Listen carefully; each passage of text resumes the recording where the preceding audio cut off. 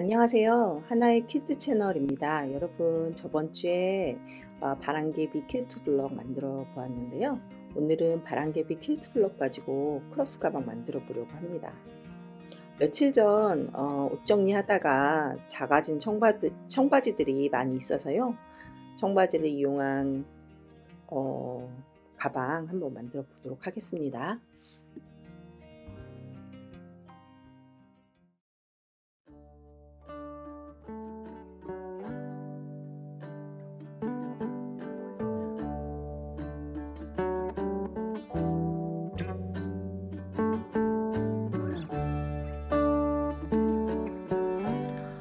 어, 저는 퀼팅 라인을 이런 식으로 했거든요. 화면에 보이는 것처럼요. 근데 여러분, 어, 다르게 뭐 다른 아이디어 아이디어 있거나 이러신 분들은 다르게 하셔도 되는데요. 어, 조금 번거롭긴 해도 퀼팅 라인이 좀 많긴 많은데요. 어, 이렇게 하면 좀 더 예쁜 어, 주머니가 될 것 같아요. 지금 만드는 부분은 주머니입니다.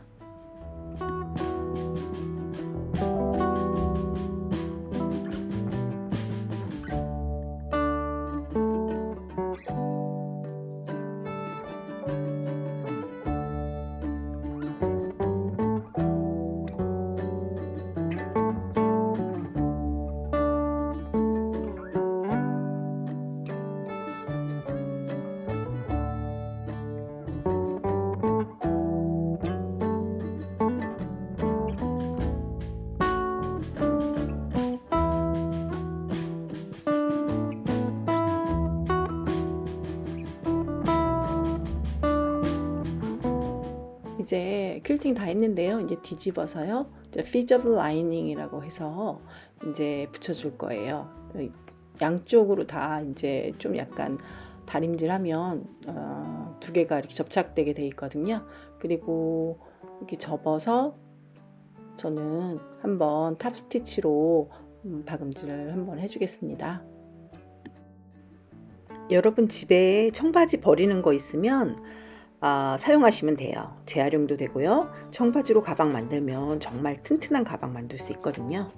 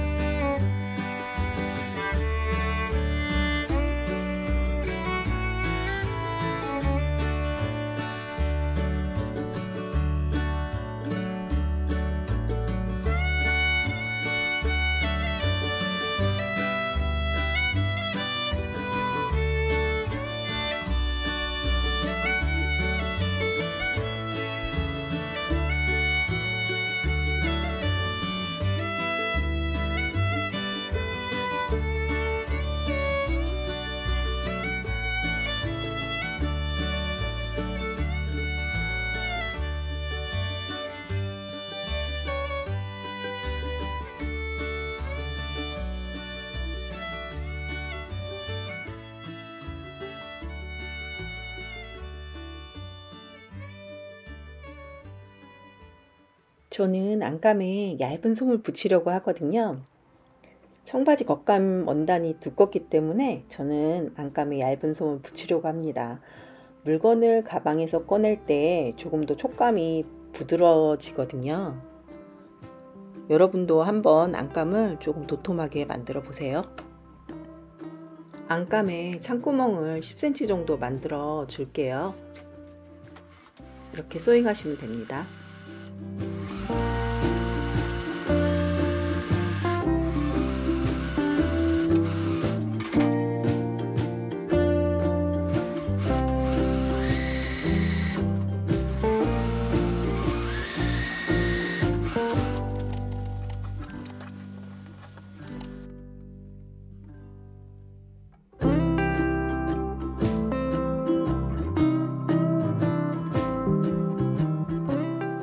이제 가방 고리 만들 건데요. 가방 고리가 양쪽 모두 청바지 원단으로 만들면 너무 두꺼워지기 때문에 한쪽은 조금 얇은 원단으로 만들어 줄 겁니다.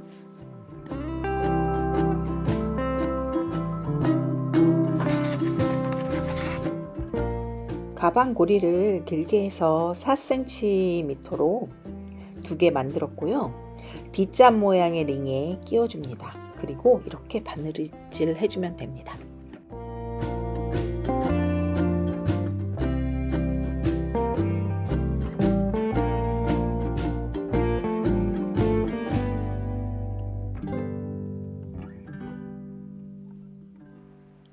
안감의 겉과 겉감의 겉이 마주보게 한 다음에요. 가방고리를 거꾸로 넣어주고 가방 둘레를 바느질 해주면 됩니다.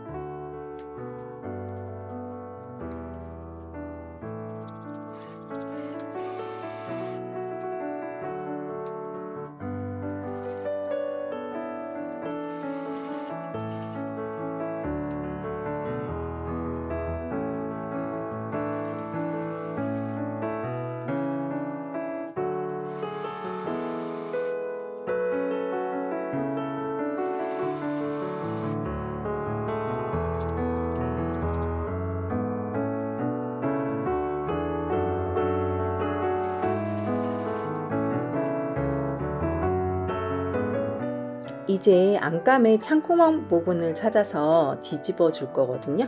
그리고 창구멍을 blind stitch로 막아 주시고요. 그 다음 가방 입구 부분은 top stitch로 바느질 해주면 됩니다.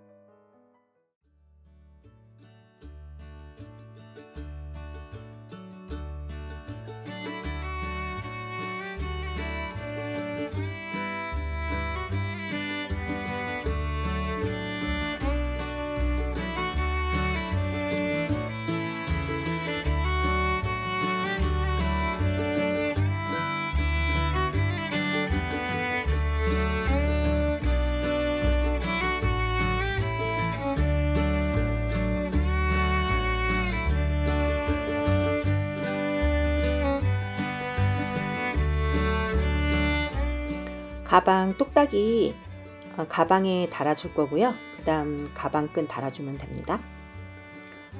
안감 쪽에 바느질땀이 너무 크게 보이면 별로 안 이쁘거든요. 안감에는 바느질땀 아주 작게 바느, 바느질 해주세요.